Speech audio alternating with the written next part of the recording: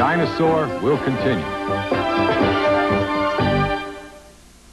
Wednesday, George Benson sings, but Mike Hammer rewrites the score when Broken Hearts Goldust Records was started by a numbers runner, a pimp, and a prostitute. and Stolen Money lead to murder. Interesting story.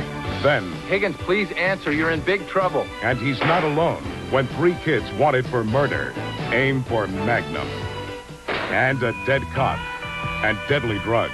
We're talking big money. Dirty money. Push the Houston Knights right to the edge. Wednesday on CBS.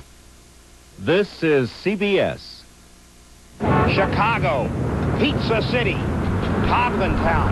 I'm here to find out why Chicago Chicagoans love Pizza Hut pan pizza. The pan lets them put more cheese and stuff on it.